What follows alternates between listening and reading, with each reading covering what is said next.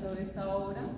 Eh, vamos a estar hablando de Lo que el infierno no es, es una novela de un escritor italiano que se llama Alessandro Avenia. Eh, bueno, no sé si alguno de ustedes, bueno, anteriormente acá también en el Faro hicimos una conferencia, una presentación sobre eh, un escritor colombiano, Mario Mendoza, y como el género literario, por decirlo de alguna manera, que él utiliza, eh, que es pues como el realismo crudo y degradado, como mostrando pues la, la humanidad de su eh, expresión más cruda y, difícil. Em, se puede decir, bueno, hago mención de esto porque se puede decir que en lo que el infierno no es, vemos también como una sociedad degradada, alguna manera, eh, porque se centra en, en Brancacho, que es pues una, uno de los barrios más afectados por la mafia italiana. Eh, este queda en Palermo, Sicilia, Italia. Y eh, bueno, como todas las diferentes circunstancias eh, que tiene que afrontar la gente, pues que, que está como inmersa en la violencia, en los problemas sociales, eh, políticos, en disfuncionalidades familiares, etc. Pero lo que hay de diferente con esta obra es que eh, no solo muestra esta parte negativa y fatalista, sino que también da como una luz de esperanza a, a, pues, a esta población, a esta, a esta, zona. Eso es, eso es algo muy bonito. Em, bueno, pues les voy a hablar primero como en general del autor y ya después eh, estaré como comentando un poco a grandes rasgos lo que es la, la novela. Entonces, Alessandro Avenia, Alessandro Avenia, eh, bueno, es un escritor italiano, evidentemente. También es pianista y es profesor de literatura en un, en un instituto eh, con una secundaria en Italia. Eh, él asistió a la escuela Vittorio Emanuele II y eh, allí fue donde conoció a, como al personaje principal de esta obra. Eh, es un sacerdote y en ese momento fue su, su profesor de religión, el padre Pino Puglisi. Y eh, bueno, por eso se puede decir que, que la novela es como algo autobiográfica, ¿no? Eh, lastimosamente eh, tendremos que hacer algunos spoilers, pero bueno, ya llegaremos a esa parte. Em, bueno, este sacerdote pues hacía algunas sociales en Bracacho, tratando como de hacer que la vida de estas personas y principalmente de los niños y niñas de ese lugar fuera como más llevadera y que vieran como una luz de, ayuda, de esperanza, de que podían pues de que no tenían que seguir como el mismo camino que, que la mafia les había impuesto. Em, entonces, el, el, sacerdote Don Pino lo invita a participar en, en la obra, a ayudarle, eh, a acompañarlo y pues Alessandro asiste. Eh, bueno, después él se graduó de literatura, de filología, filología clásica.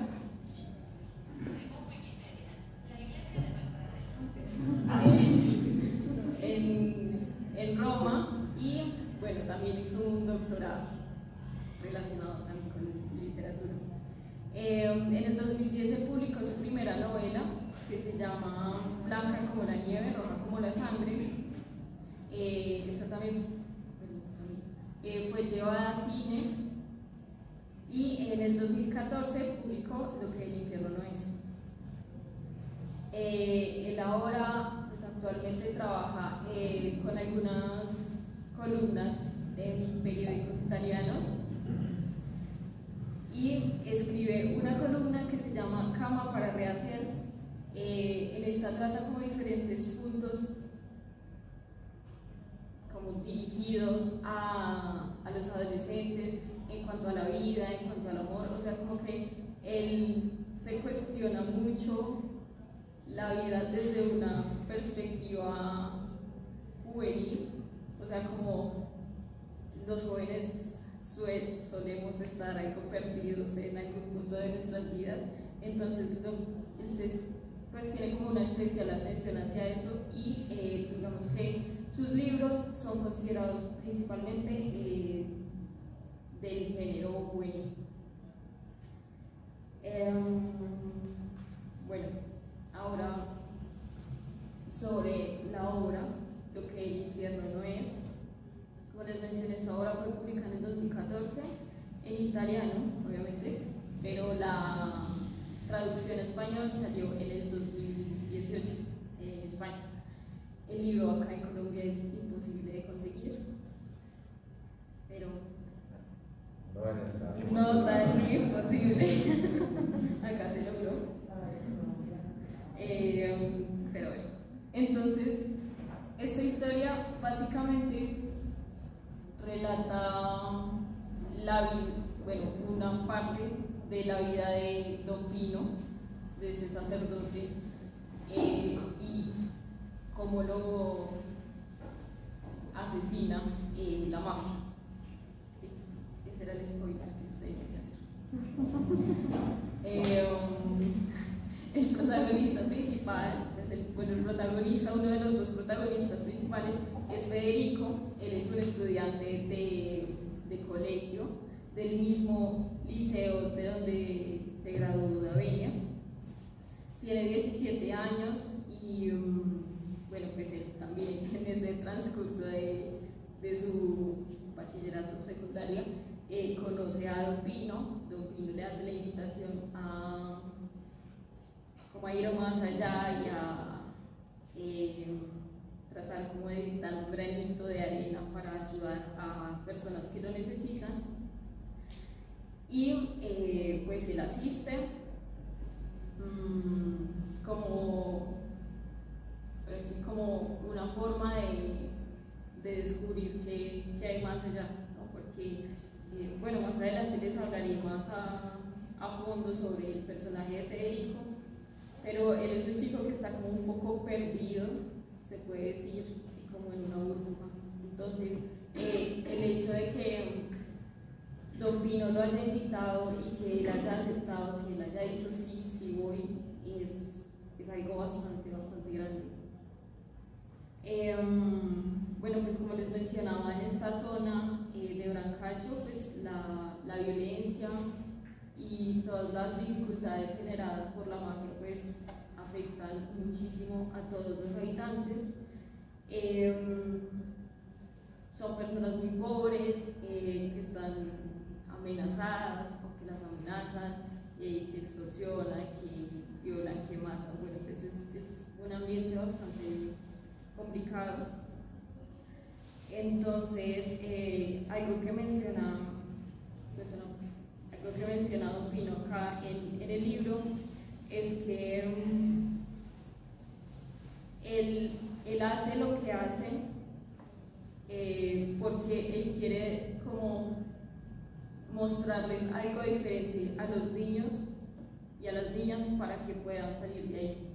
O sea, como eh, sí, una especie de elementos para salvarles la, vida a ellos. Les puedo comentar. Bueno, esta historia está ambientada en, los 90 que es pues, por los años en los que asesinan, o sea, como hecho real e histórico a, a. Eh, um, ah, bueno, y también pues por esto mismo se puede afirmar que esta novela es como algo eh, autobiográfica, ¿no?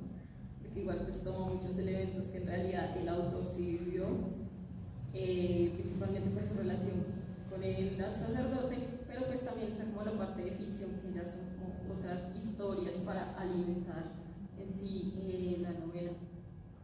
Sin embargo, pues David comenta que, que esta era como una historia que debían donarle al, al mundo porque eh, el, como la huella que dejó Pino es bastante grande y todavía se, se tiene conciencia de, eso, pero Tomás en un momento les va a comentar más. Eh, um, hay otra cosa.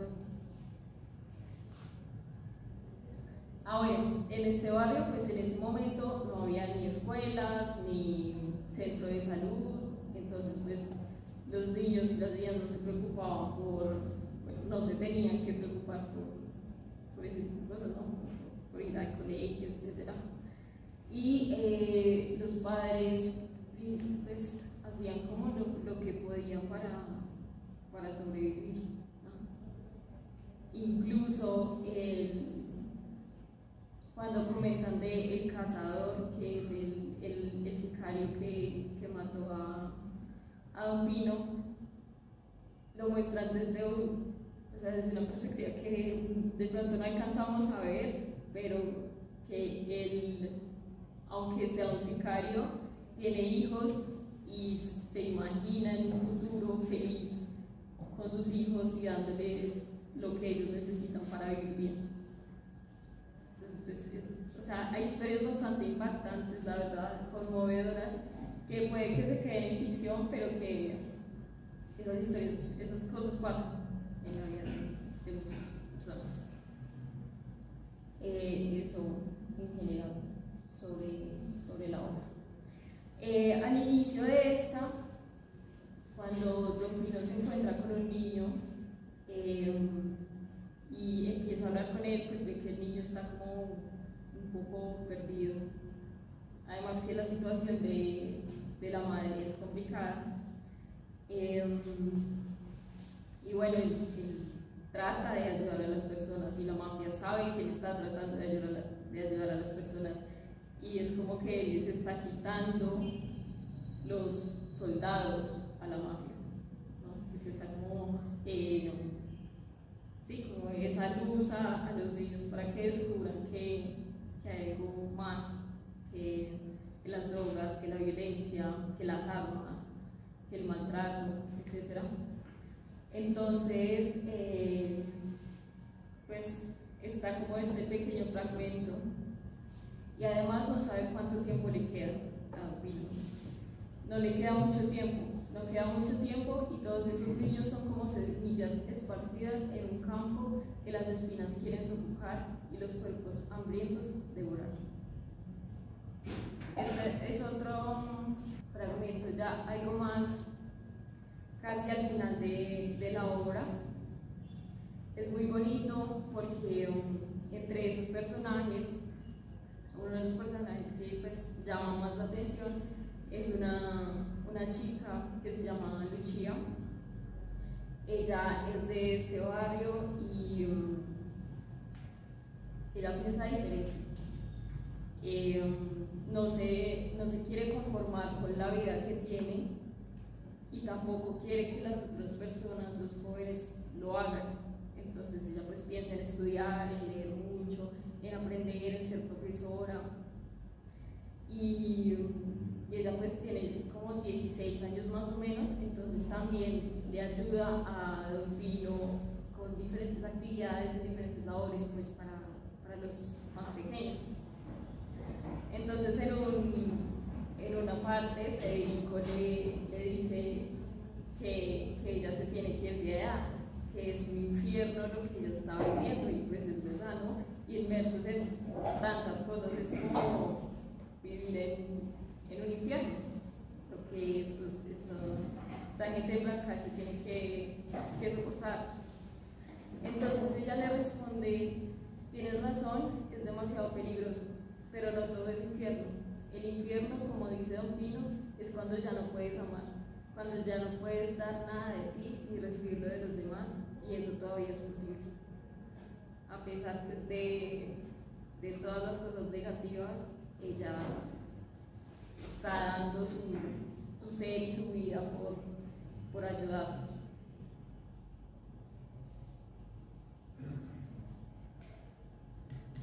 una cosa de las dos imágenes de antes, eh, muchas de estas fotos que vemos en la presentación son uh, hechas por uh, Letizia Battaglia, que es una fotógrafa siciliana de Sicilia, que sacó estas fotos en los años 80 y 90 en Sicilia. Entonces, estas son fotos de Palermo de, y cuentan lo que cuenta esta historia. Entonces, hemos pensado que son muy significativas para introducirnos en este mundo.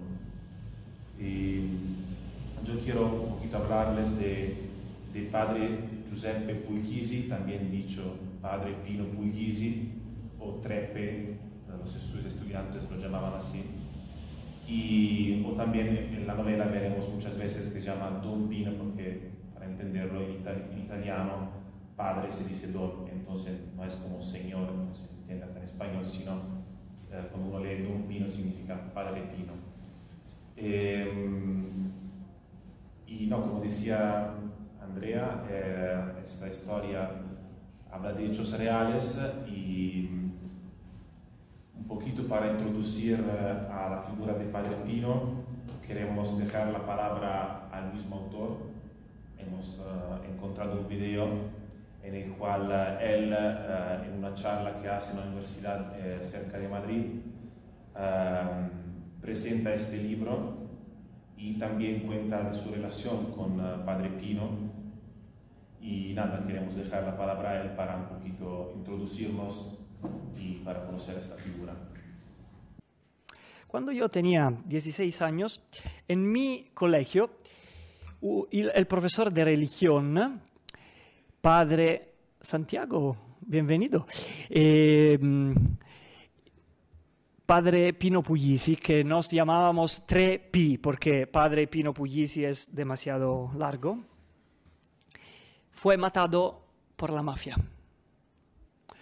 Yo empezaba mi cuarto año de instituto, se, se entiende, tenía 16 años y fue matado por eh, la mafia en un barrio cerca de mi instituto, donde él llevaba los chicos a hacer eh, voluntariado, a ayudar para hacer jugar los chicos del barrio, hacerlos estudiar, eso.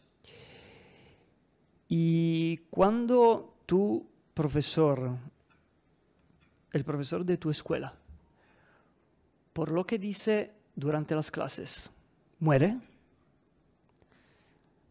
algo en tu vida tiene que transformarse. Y yo experimenté unas, en, eh, en una cierta manera una transfusión de sangre. Aquel sangre del asesinado entró aquí. ¿Sabéis por qué Don Pino fue matado?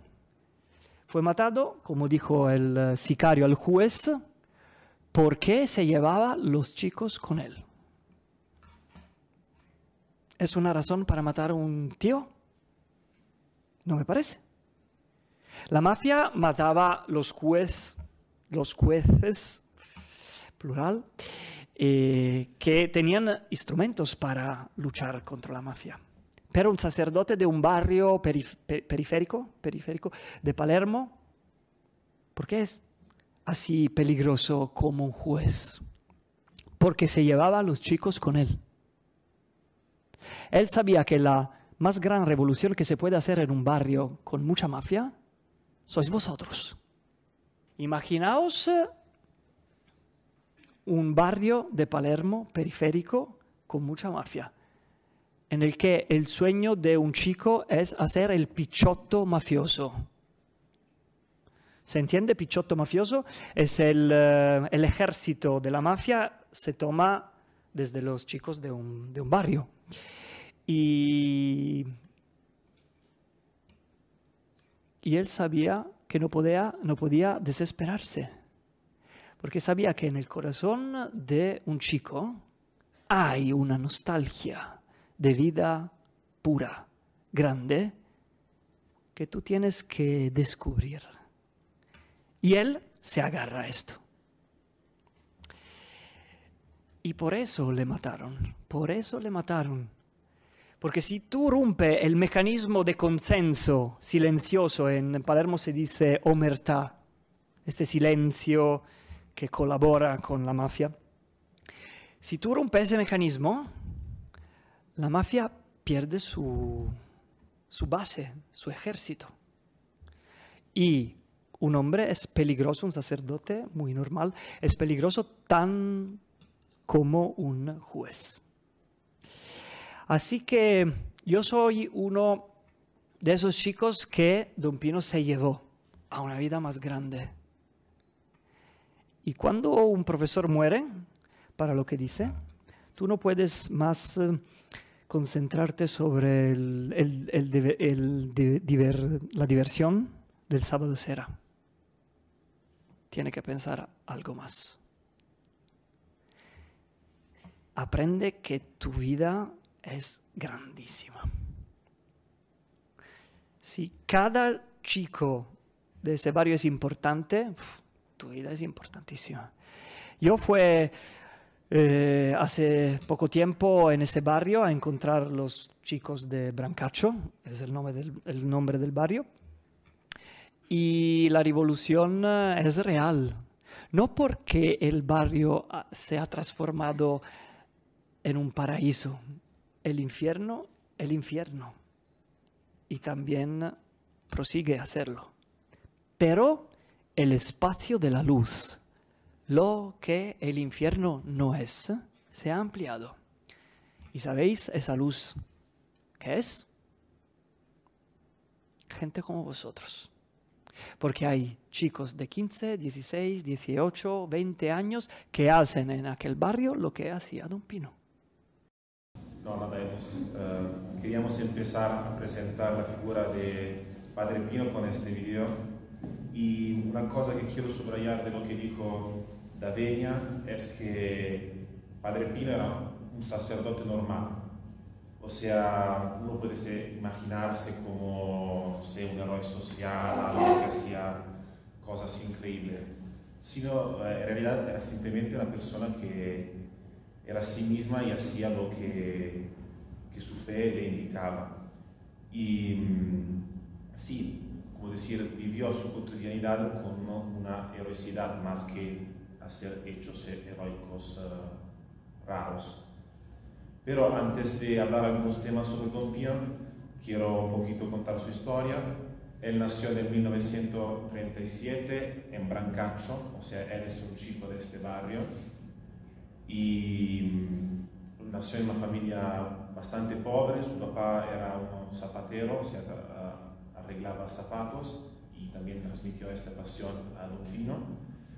Y mm, nada, él después entiende que su vocación es el sacerdocio y en el 1990 eh, piden que él regrese en Brancaccio como párroco. Entonces eh, eh, regresa en su barrio y, tiene que enfrentar la realidad que hay en este barrio, o sea que de verdad está gobernado por parte de la mafia. También, como ya se decía, su otro trabajo es ser profesor de religión en el colegio uh, en el cual estuvo uh. Antes de seguir un poquito sobre la figura de Don Pino, quiero hacer un, pequeño paréntesis sobre qué es la mafia Em, más o menos todos sabemos que es la mafia, pero un poquito a profundizar esto viendo algunos elementos históricos. Y mm, para, también esta es una foto de Letizia Battaglia.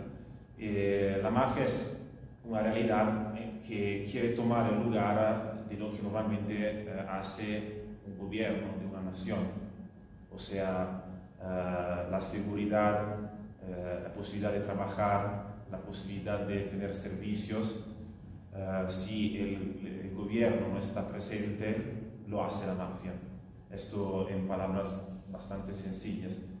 Y, y para, también para entender cómo nació esta realidad de la mafia, hay que ir un poquito atrás en la historia, antes de la unidad de Italia que fue en el 1861, eh, en Sicilia, porque la mafia nació en Sicilia. Eh, las condiciones de Sicilia antes, en el 1800, 1700, eh, eran, decimos, como el gobierno era de estilo feudal, decimos esta palabra, para entender que había algunos señores que gobernaban los territorios y el rey, porque ahí había un rey, un reino, un reino, eh, será el reino de las dos Sicilias. Pero el gobierno no era tan presente en la isla de Sicilia. Entonces esto permitió uh, que algunas familias se podían, uh, decir, tenían que sobrevivir. Entonces se creó este sistema donde cada realidad familiar intentaba de sobrevivir, de ser autónoma, pero también muchas veces las soluciones a los problemas uh, eran con la violencia. Entonces se creó esta situación de ausencia del gobierno, de una realidad muy pobre y uh, por esto la mafia nació en esta realidad, donde, uh, como decir, se creaba casi otro gobierno organizado por parte de las familias mafiosas. Eh, llega la unidad de Italia en 1861, pero las uh, esperanzas que la idea de unidad llevaba consigo, de bienestar, de mejoramiento de la situación, no fueron alcanzadas. Entonces, um, esto hizo empeorar la situación y la mafia tuvo uh, más poder. También me comentaba Andrés que él estudió en su tesis de universidad uh, el tema de la mafia, sé, para las preguntas lo hagan a él. Eh, no, me comentaba que los, el mismo Ejército de Liberación Nacional que llegó en Sicilia para destabilizar el mismo reino, que hizo? Ayudó a la mafia, apoyó a la mafia, así que dando poder a la mafia, el gobierno tenía menos poder y era más fácil conquistar Sicilia. Entonces también esto hecho ayudó a aumentar el poder de la mafia y lo mismo pasó a, al final de la Segunda Guerra Mundial cuando los estadounidenses y aliados llegaron en Sicilia para liberar Italia del fascismo, hicieron lo mismo, o sea, ayudaron a la mafia para uh, decir, hacer más débil el gobierno fascista y esto ayudó a los estadounidenses a conquistar el sur de Italia.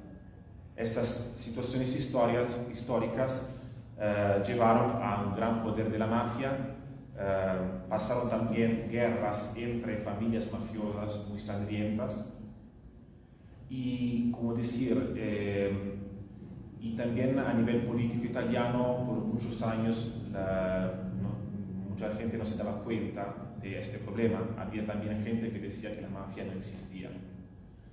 Y so, solo a partir de los años 60 el gobierno italiano empieza a darse cuenta un poquito que hay problemas serios. Entonces empezó a buscar algunas soluciones.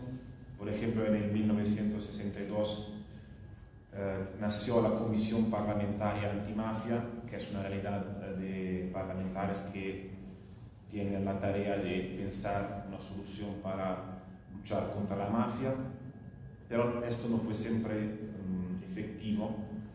Uh, de hecho, uh, hay que llegar hasta al final de los años 90 para ver de verdad una efectiva lucha contra la mafia.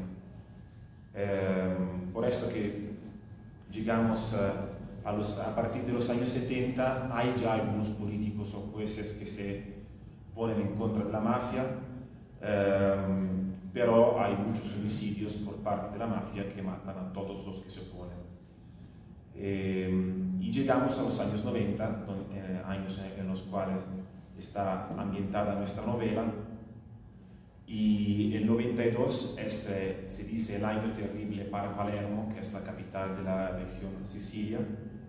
Y mm, es el año terrible porque hay muchos homicidios, en particular de dos jueces, Falcone y Borsellino, que son dos jueces que de verdad intentaban de buscar soluciones, luchar contra la mafia también, como decir, quitándole los recursos económicos, o sea, todo lo que ganaban en la venta de droga, en todos los que hacían, entendieron que para luchar contra la mafia no era solo llevar la policía en estos barrios, sino también luchar a nivel económico, a nivel uh, de judiciario,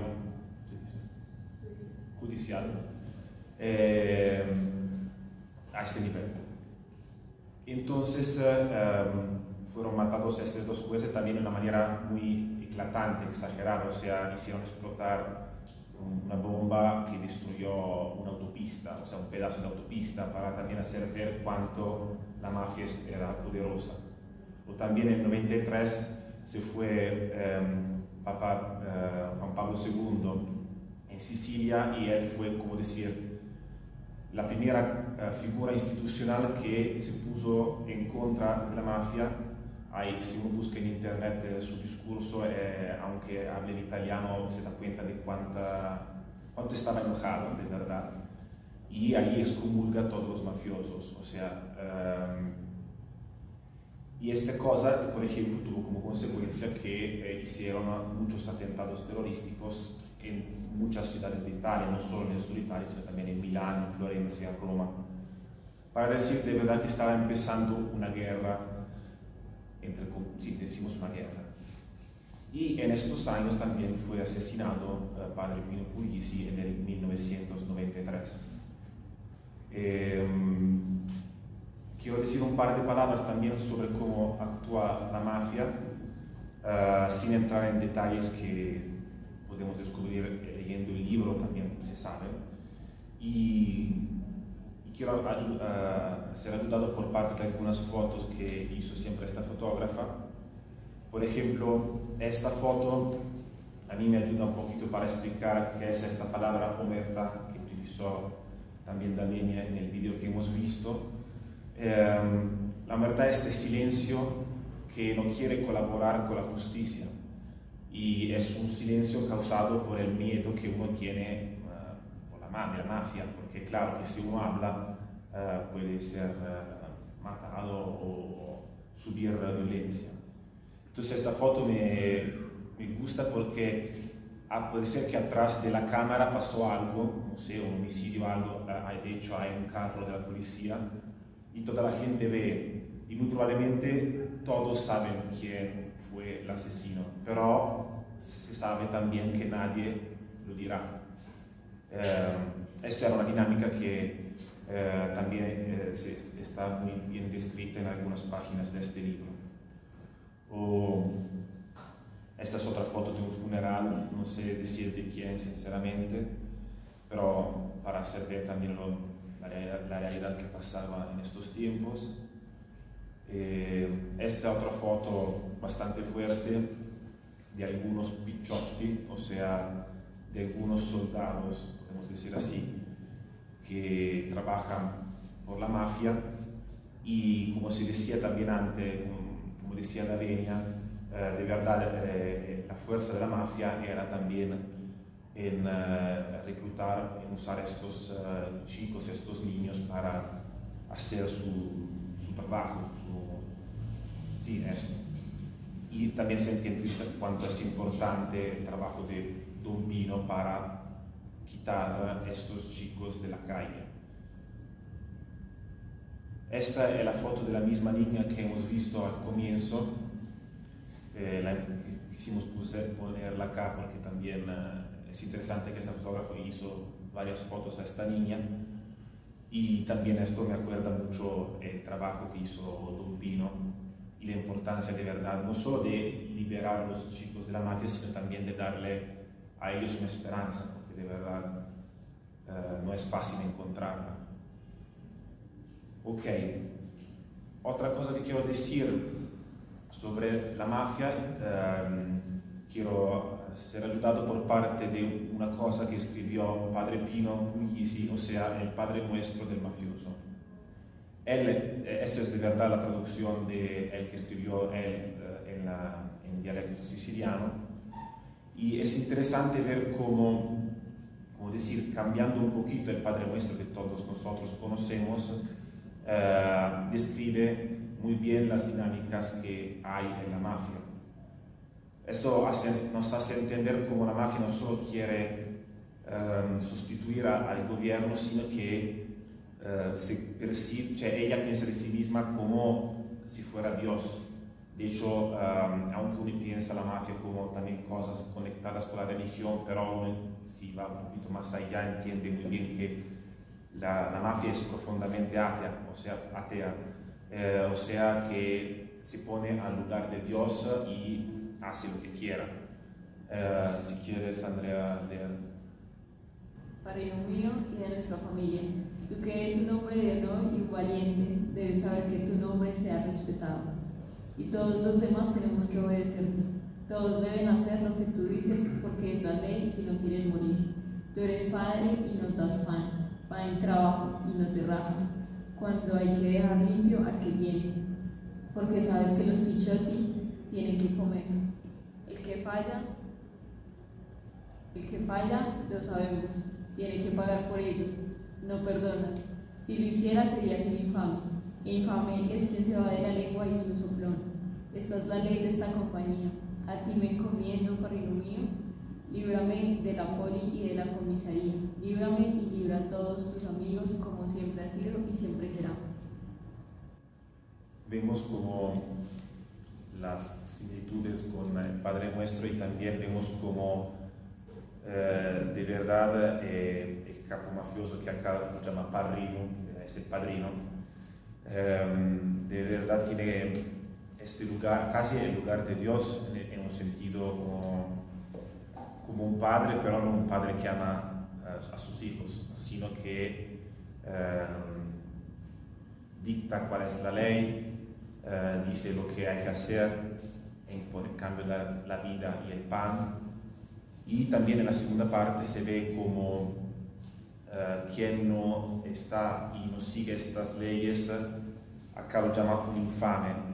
Infame, eh, lo que me comentó Andrea, en, en italiano en particular, en la realidad de criminal es un, un insulto, eh, porque como decía es una persona que traiciona este este, estas reglas que puso el capo mafioso. O sea, um, también se ve como la libertad depende de, de este capo mafioso. Líbrame libra a todos tus amigos.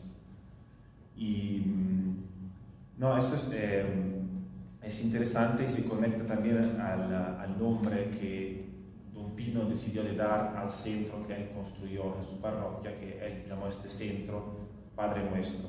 O sea, este centro era un centro en el cual acogía a los chicos de, del barrio, los hacía estudiar, los hacía jugar. Es interesante ver cómo este nombre acuerda de verdad a la gente eh, que, que, hay un padre eh, que no es el padrino, que no es el capo mafioso. Y, y, esto un poquito nos permite regresar y, concluir algunas palabras sobre Don Pino, Ah, una cosa que me olvidaba, en el libro veremos que el jefe mafioso no sabemos cuál es su nombre, sino que se llama Madre Naturaleza. Esto también hace entender cómo el capo mafioso es como la naturaleza, o sea, que da la vida, que da la muerte, que tiene unas leyes que todos tienen que seguir. También este nombre es muy significativo. Regresando a la figura de Don Pino, um, ya hemos visto, uh, escuchando las palabras de la Venia, que él que quitaba a los uh, chicos de la calle y esto era un problema para, por la mafia.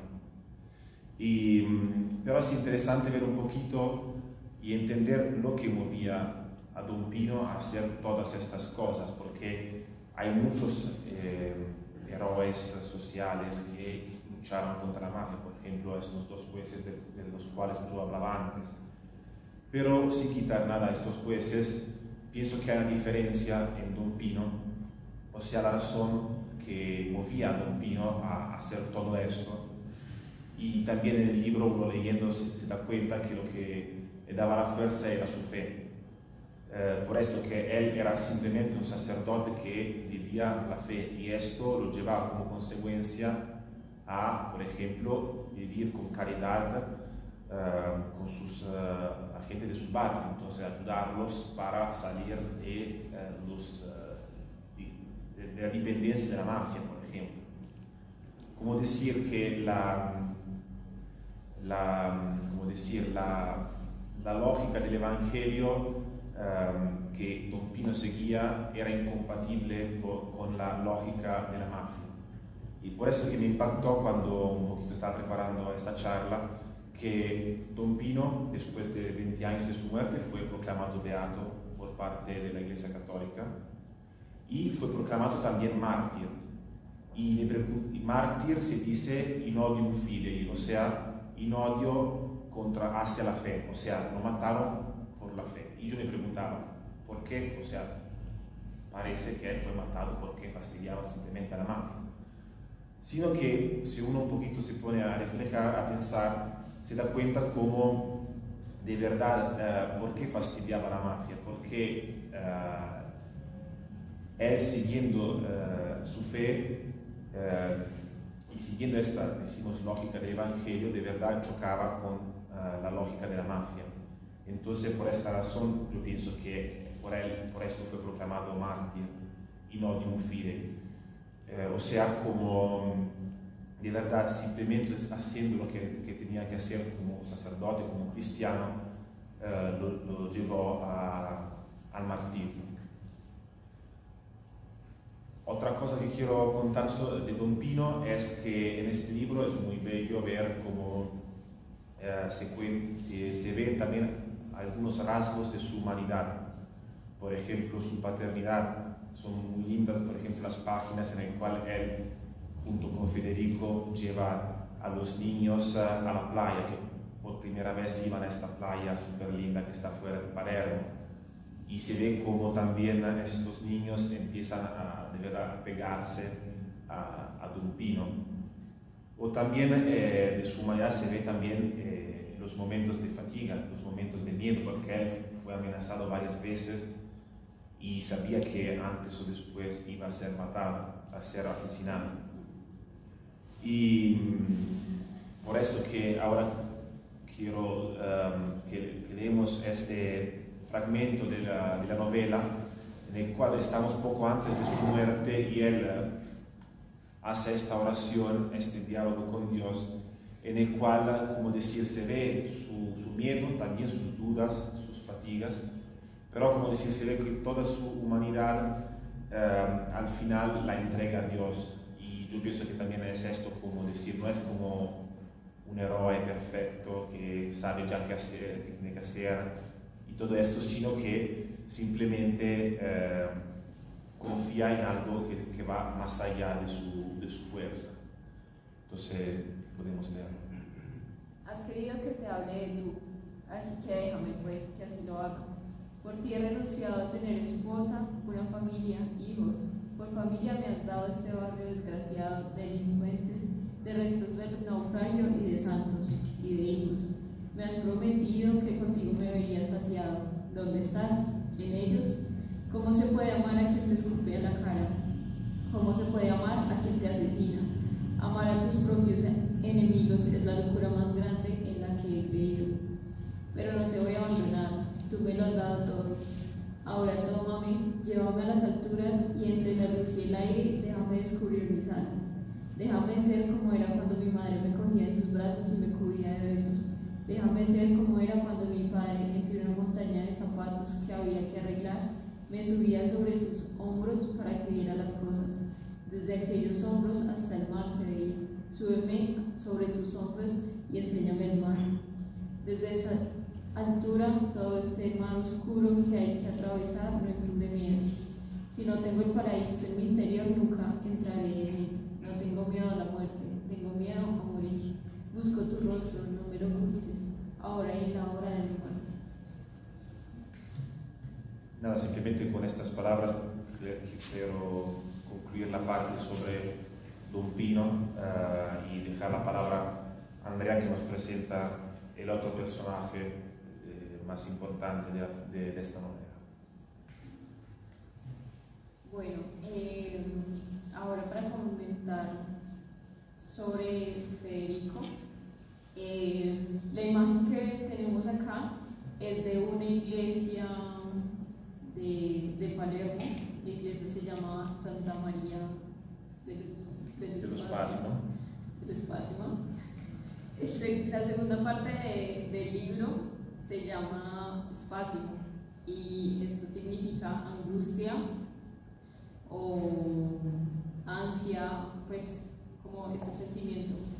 Em, entonces, pues bueno, esta iglesia está allá y em, hay una escena en la que Federico eh, está pues, se encuentra allí y hace como un recuento de la angustia que, que es la vida y, y como la medida de, de, satisfacción o de angustia que cada persona tiene pues subjetivamente. Em, creo que más adelante también se, hay una escena donde él está acá con, con Lucia. Vale, bueno, entonces pues como les comenté, eh, al inicio Federico eh, un adolescente, estaba estudiando en, el colegio, eh, vive como en un barrio acomodado de, de Palermo, con ambos padres y con su hermano mayor que es médico y que quiere convertirse en cirujano. Entonces pues se puede decir que su situación social está, es cómoda. Eh, sin embargo, él aún siente como, como un vacío, se siente incompleto eh, e insatisfecho con la vida. Eh, pero es un amante de las palabras, de la literatura eh, y hace muchísima referencia a, a esto pues, en, en, el libro, en sus diálogos. Eh, él también, bueno, no, o sea, la forma como, la, como está escrita la novela es muy interesante porque hay como que muchas voces que se, que se juntan, no es solo un narrador, o no es solo como una perspectiva de un narrador, sino que, eh, no sé, yo me leí el libro y hasta el final me di cuenta que una, que una que unas partes, unos fragmentos que, es que no quiero hacer más spoiler, pero unos fragmentos que eran muy bonitos, algo un poco complicados de entender, pues no eran simplemente del autor ya que surgían así, porque sí, o sea, todo eso como que estaba muy bien encadenado y tenía una intención muy bonita. Eh, entonces, bueno, pues como les mencioné, él se siente bastante perdido eh, y pues esto es un fragmento que hace referencia a eso. Me gusta buscar las palabras adecuadas, las palabras y su sonido me salvan. Lo he descubierto en primaria. Con las palabras consigo anclar cuanto va la deriva en el mar que hay dentro del corazón lo amarro en el puerto de la mente. Solo así dejo que las cosas dejen de golpearse entre sí, encallar, de partirse en dos. Em, bueno, pues él utiliza eh, las palabras como para, pues, como su máxima expresión y él se encuentra como en una burbuja un poco idealizada, existencial también, en un lugar como de confort, en, las que utiliza justamente esas palabras ancla que le dan seguridad a su vida. Es como que se arriesgue a, a vivir en sí, se queda en, en su familia, en su colegio, en todos los planes o las oportunidades que, que tiene por pues, los privilegios económicos eh, de su familia. Y pues eso es como algo muy, muy particular. Eh, ahorita les mencionaba el, el, título del, del segundo capítulo. El primer capítulo se llama Todo Puerto. Eso también tiene una intención muy bonita y es que eh, todo puerto es como el significado en griego de, de Palermo, de, de, la palabra Palermo, porque pues Palermo era como el puerto a los que llegaban los navegantes eh, como a salvarse. Entonces, eh, estas palabras ancla que, él utiliza son como ese puerto que lo mantiene bien, estable, aunque insatisfecho. Eh, y ya en, en, la segunda parte, el espacio, la angustia, se ve más reflejada porque ella entra como a un, o bueno, sale de esa burbuja y encuentra un mundo totalmente diferente eh, en Brancacho. ¿no? Eh, bueno, pues por eso mismo a él lo, lo consideran como un poeta, o al menos ese es uno de los apodos que tiene. Creo que el personaje de Federico a través de toda la historia tiene como un crecimiento personal y emocional inmenso. Eh, es como todo, todo un descubrir, como toda una, una epifanía ahí que, que surge pues de, de, las situaciones, de llegar a este barrio, de conocer a las personas que habitan allí, de ver sus problemas y eso es algo que él eh, incluso encara otras personas, porque su hermano, digamos, le dice que él está loco de ir allá, de por, qué, porque tiene que arriesgarse a que lo roben, a que lo golpeen, a que lo maltraten, incluso lo pueden matar allá por eh, estar ayudando al sacerdote. Pero él clara, claramente le dice que, que su vida no, debe centrarse en pensar en su futuro y que pues eso no es lo que él quiere, sino eh, poder ayudar si él puede hacerlo, al menos con, como con lo, mínimo, aunque pues en realidad termina haciendo mucho con estos chicos.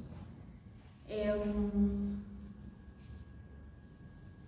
Dante Petrarca, estos escritores italianos, son como unas referencias bastante sólidas de, de Federico. Él está enamorado de, de, la literatura y al inicio de Petrarca, o sea, ve a Petrarca como, su, como un ídolo. Eh, Petrarca pues lo que hacía, básicamente, yo se los voy a leer, eh, en una cita de, de Federico, mi profesor nos ha llenado la cabeza con lo, con lo de la parquedad lingüística de Petrarca, su capacidad para conseguir que el alma respire sirviéndose de unos pocos términos esenciales como diamantes limpios de impurezas. Dante, en cambio, lo asimila todo, hasta el carbón, no solo el diamante. Es sucio comparado con Petrarca, hasta huele mal. Y ahora tengo necesidad de limpieza porque hay demasiado caos ahí fuera. Sobre todo lo que respecta al amor, Petrarca es capaz de simplificarlo hasta que sea como un diamante. eso está ahí. Eh, se puede decir que Petrarca, bueno, pues su obra principal es como una antología de sus poemas eh, de amor, puede decir, ¿sí? Entonces él, él utiliza como una simplificación de de sus ideas, pues, que, que deja todo muy, muy claro, o sea, es como muy directo, se puede decir. ¿no? Eh, pero está como la contraparte de Dante, que no solo se fija, digamos, en el amor, sino que él en su obra de la Divina Comedia, pues, recorre todo, todo, o sea, las cosas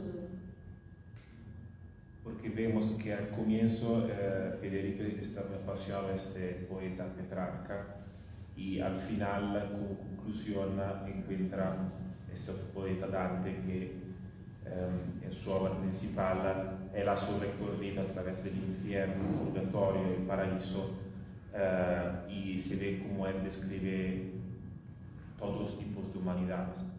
Entonces, como decir, se ve este cambio que ya Andrea describió en Federico, se ve también reflejado en las pasiones que él mismo tiene. Otra cosa rapidísima es que Petrarca y Dante son, vivieron alrededor del 1200-1300 y son los que fundaron el italiano, eh, para entender simplemente de, qué periodo estamos hablando. Eh, sí, vale, pues es básicamente eso, o sea, como que en la obra de Dante los lectores se, se dan cuenta que él se arriesga y se deja fluir y busca, indaga y todo, y todo va saliendo. Entonces, eh, eso es una cuestión que, que le afecta pues, a Federico de forma positiva, porque no es solamente quedarse en esas palabras ancla de seguridad, sino pues y como consecuencia de todo lo que vive, salir como arriesgarse eh, en esas aventuras, como salir a, a mar abierto, se puede decir, entonces ahí ya cambian eh, de palabras ancla a palabras proa. Eh, esta es otra cita de, de Leo estos versos y me los tomo como un testamento. Ya no necesito las palabras ancla de Petrarca, sino palabras proa que contengan todo el valor que se precisa para afrontar el mar abierto. Esto lo dice luego de una cita que hace de, um, de Dante, justamente. Creo que es Beatriz Ah, y bueno, además de eso, otra eh, o referencia que se puede sacar es que eh, pues Beatrice, que es como la, la enamorada de, de, Dante, la Divina Comedia, de cierta forma lo salva a, él, ¿no? Acá, pues Federico se enamora de, de Lucia, y si recuerdan las primeras eh, citas que, que, les mostré sobre lo que el infierno eh, representaba para Lucia, es, o sea, para Federico eso fue como sí, un cambio total. Eh, bueno, pues como les mencioné, Don Pino va como trayendo diferentes circunstancias a, Federico y, y, eso es lo que hace que él eh, madure, se puede decir de una forma bien, bonita, y um, que empiece a ver la vida desde, desde una perspectiva más, más real, ¿no? Después de ver las situaciones que aunque él no vive, pues que están muy cerca de él, que pasan y que son eh, pues la cotidianidad de, de otras personas, ¿no? Eh, bueno, y la última cita de Federico. Así pues, por primera vez en mi vida, a los 17 años, descubro que soy libre. Esta mañana me he levantado y podría no haberlo hecho. Me he dado una ducha y podría no haberme dado. He decidido salir y podría no haberlo hecho tenía libertad, lo tenía todo y estaba dentro de mí. Sí, no, simplemente con esto concluimos eh, y no, simplemente hemos deseado contarles este, un poquito de esta novela porque como también un poquito esta imagen siempre de esta niña eh, puede describirlo como sonriendo, sonriendo. Eh, Claro que acá encontramos todo el drama que, de la vida, de esta realidad, pero también como se decía antes, eh, es interesante ver qué es esta luz que a través de Don Pino se dilata, crece y toca también toda la otra gente y por esto los invitamos a leer esta novela.